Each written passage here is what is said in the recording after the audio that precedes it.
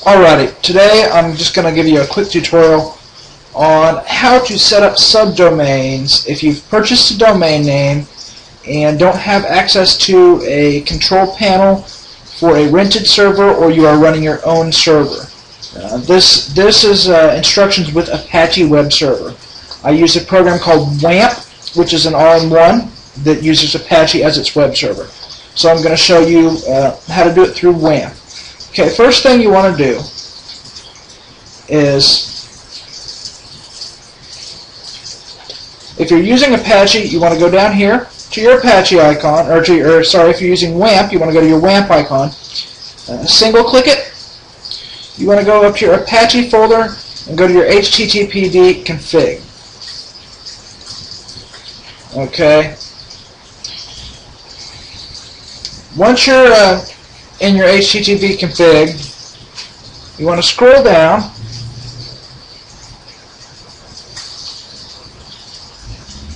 until you see something about virtual host. It's actually easier to go to the top, very top of the page, put your scroll in, uh, go to find, and just type in virtual host. Uh, that's not the correct one. You're going to be able to tell when it's the correct one, okay? So we want to go down to our next virtual host, next virtual host. Now you see where it says virtual hosts. Okay, you see the line under that? Uh, it says include config extra HTTPD vhost.config. Uh, you can either put your virtual host configuration in this main file or you can let it use the HTTPD vhosts.config. Uh, if you want it to use the vhost config, you want to make sure to take the pound sign out from the beginning. Okay. Uh, you then want to, once you, uh, if you're using this file, you would do the same thing I'm getting ready to show you in this file. If you've got that pound off there and you're going to use the other file, you need to locate it. Uh, with Apache, I do believe it's in the main Apache directory. With WAMP, they lay things out a little different. With WAMP, it's actually in the WAMP folder, bin, Apache, Apache, uh, whatever the version number is, config, and extra. In this tutorial, we're using 2.2.11. Alrighty, um, we want to come down here. We want to open our HTTPD vhost.config with Notepad. Okay, we want to scroll down here. First line you're going to need. You're going to need a line that says name virtual host space asterisk. Okay, make sure there's no pound in front of that if you've already got that file there. Okay. You want to come down here. They're going to give you a couple examples.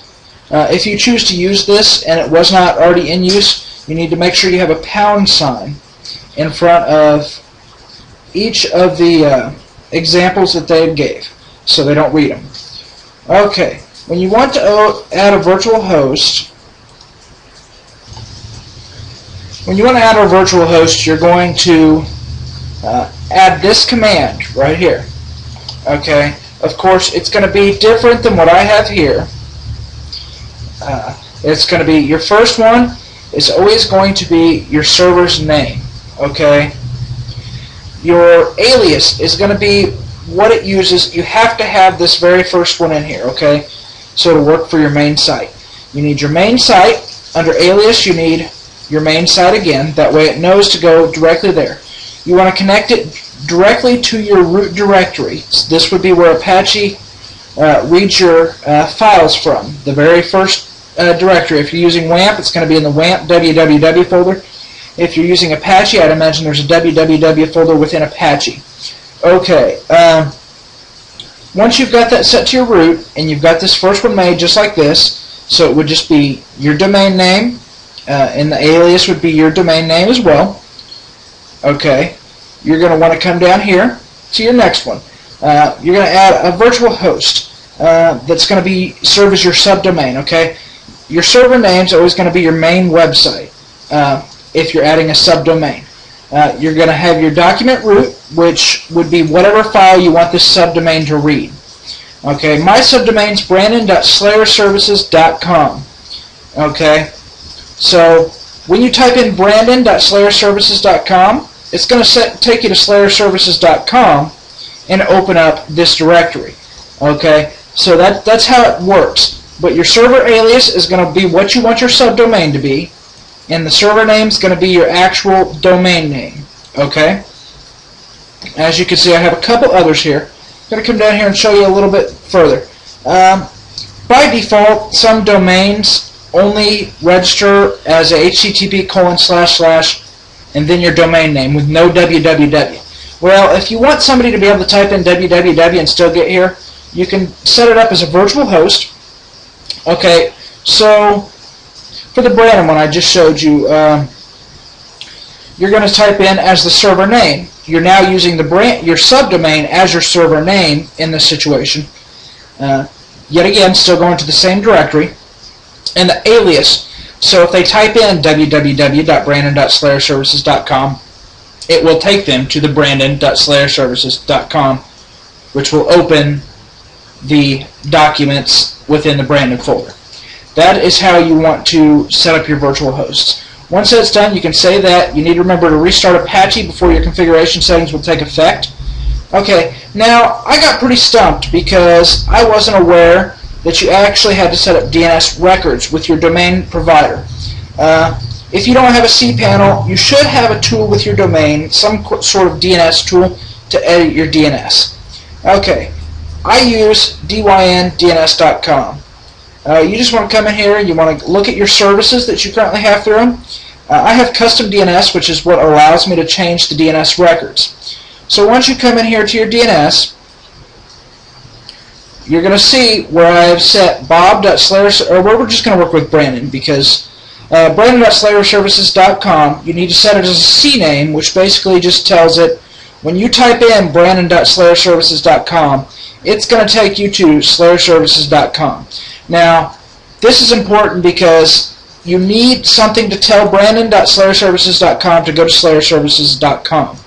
So you need something to tell your subdomain to go to your domain name. Okay. Once to your domain name, the server settings we just made will configure where what it opens. Okay. Now, also in here, it's very important. You saw the second set that I showed you to get it to go to www. Uh, we need to make sure that when they type in www.brandon.slayersservices.com, it goes to your main domain name, the slayersservices.com in my case. Uh, and then, yet again, the server will tell it what to do. Uh, these are all just C names, okay? That's the only thing you need to know. Uh, this, this is a big step that I wasn't aware of to start with. Uh, so you just have to remember set your CNAMEs uh, for your DNS. And, and then everything should work fine for you. Okay. Uh, I think I think that's going to be basically the same uh, no matter what program you're using. Uh, I mean, you have to use Apache those settings are all based upon Apache. However, uh, whether you're using Apache through WAMP or just a standalone Apache, you just have to know your directories. Um, I think that's going to conclude uh, this tutorial. I thank you very much for watching. If you have any questions, you can email me. The email is on the website at slayersservices.com. Okay? Thank you. Bye.